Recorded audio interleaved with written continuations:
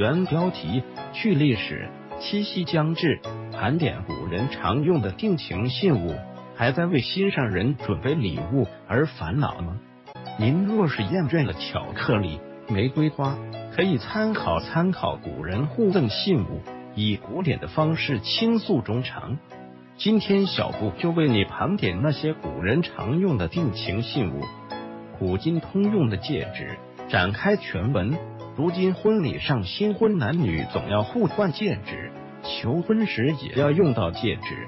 人们多认为这种习俗源自西方，其实以戒指定情的习俗在我国由来已久。南朝刘敬书在《艺苑》中记载，魏郡人秦树在冢墓中与一女子婚合，临别时，女泣曰：“与君一睹，后面无期。”以指环一双赠之，结之衣带，相送出门。《太平广记》里说，书生李张武与华州王氏子妇相爱，临别时，王氏子妇赠李张武白玉指环，并赠诗曰：“言指环相思，见环重相忆。愿君永持完，循环无终极。”后来，李张武再去华州，王氏子妇以忧思而死，二人遂神会于王氏宅中。钗中饱含着离别情，青金蕾丝蝶恋花，对钗钗为珠翠和金银盒制成花朵或其他造型的发钿，连缀着固定发髻的双股或多股掌针，使用时安插在双鬓。钗不仅是一种饰物，它还是一种寄情的物品。古代恋人或夫妻之间有一种赠别的习俗，女子将头上的钗一分为二。一半赠给对方，一半自留，待到他日重见再合在一起。辛弃疾词《祝英台寄晚春》中的“宝钗分，桃叶渡，烟柳暗南浦”，即在表述这种离情。纳兰性德词中“宝钗笼下两分心，定缘何事湿蓝巾”，也饱含与自己所爱分离的痛楚。簪子适用于女追男，簪总与爱情有关，比如其别称搔头。据《西京杂记》记载，汉武帝宠爱李夫人，有一次取下李夫人的玉簪搔头，故而得名。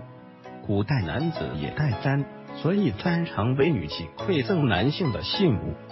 《鼓吹曲·思有所思》中写，一个女子为远方的情人准备了一只玳瑁簪子，她用心地修饰这只簪子，加上双珠还觉不足，再加上玉饰，如此珍重。自是出于一往情深，却不料文君有他心，于是他把那簪子拉杂催烧之，当风凉其灰。从今以往，勿复相思，相思与君绝。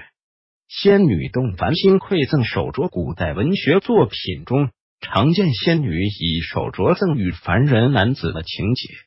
南朝医学家陶弘景在《真号》中记述。仙女厄丽华曾赠凡夫杨泉以金玉跳脱，跳脱即手镯。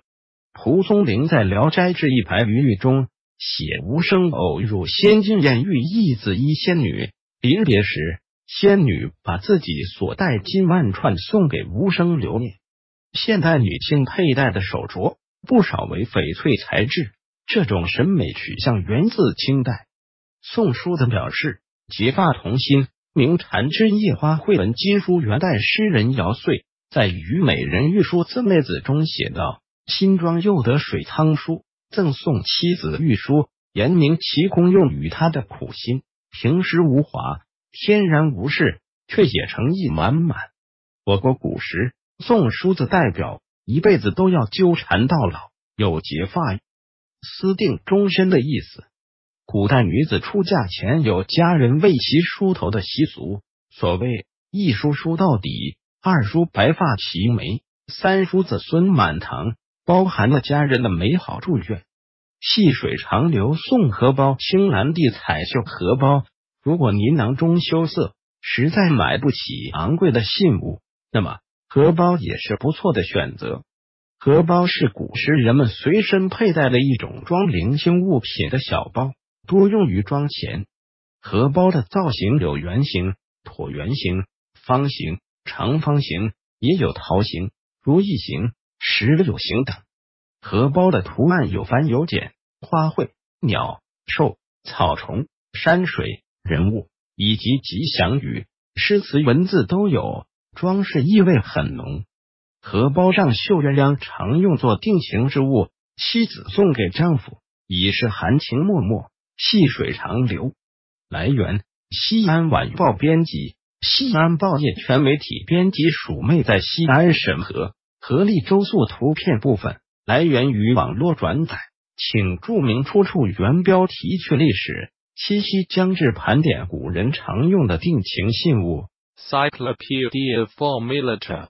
Y 返回搜狐，查看更多。责任编辑。